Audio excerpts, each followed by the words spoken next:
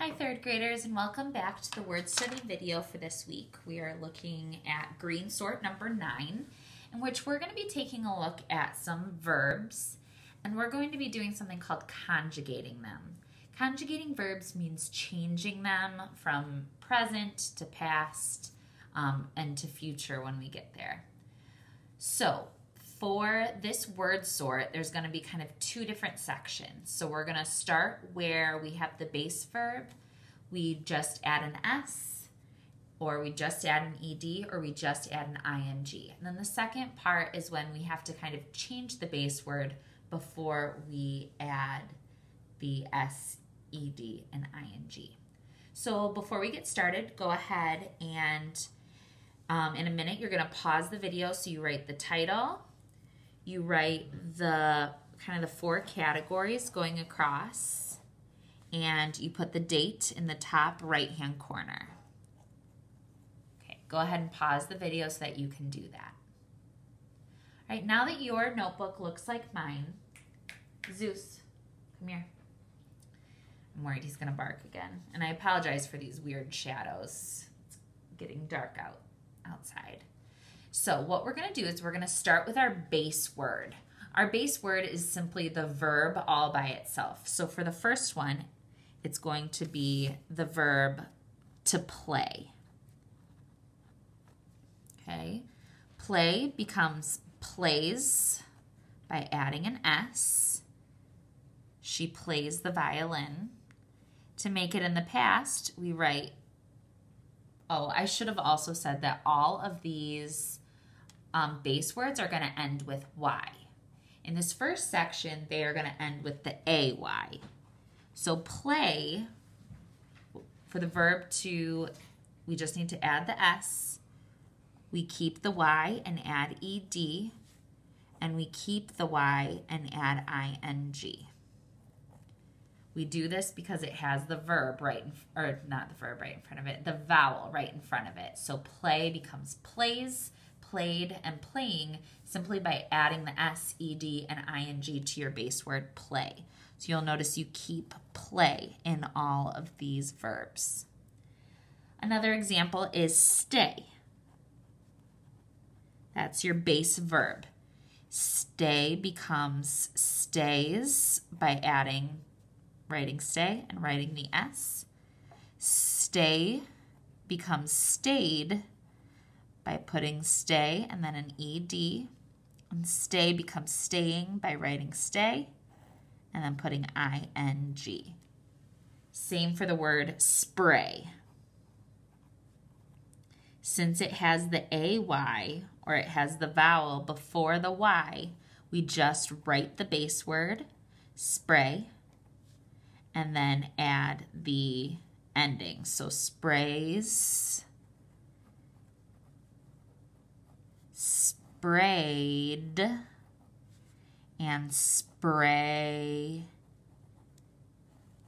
spraying, spraying. So this again is the first section where the base word ends with AY. But what happens when your base word doesn't end with AY and it simply ends with Y with no vowel in front of it? So we're going to write our headings again.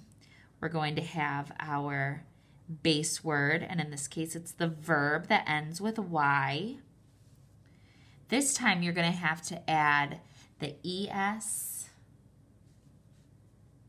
and then instead of S up here, ED and ING. So let's take a look at an example. Again, the base verb is going to end with the Y, like in the word fry. Now, this is the case when the Y is the vowel. Notice there's no other vowels in the word, so Y becomes the vowel.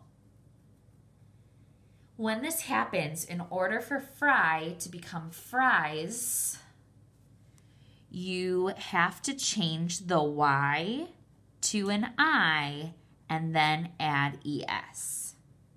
Same thing for fry to become fried we change the Y to an I and add ED. Now, just to be tricky, to add ING, we keep the Y and put ing. So again, this can be very confusing because sometimes we change the y to an i and sometimes we don't have to. Here we don't have to at all because um, all the word all the words end. Zeus is about to bark like crazy. Yep, I called it. Zeus, excuse me.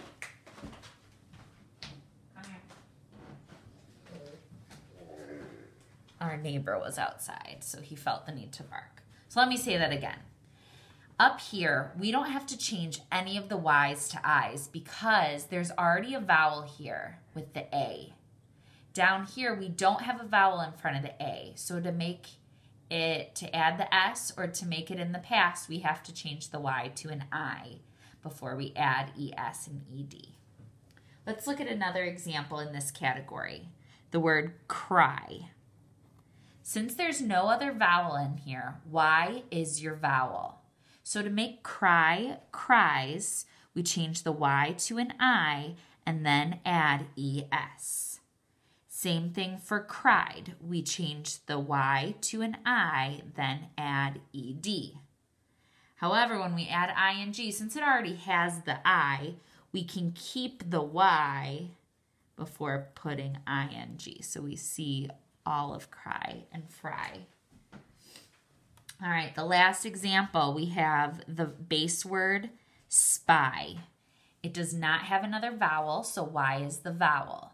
So for spy to become spies, we change the Y to an I and add ES.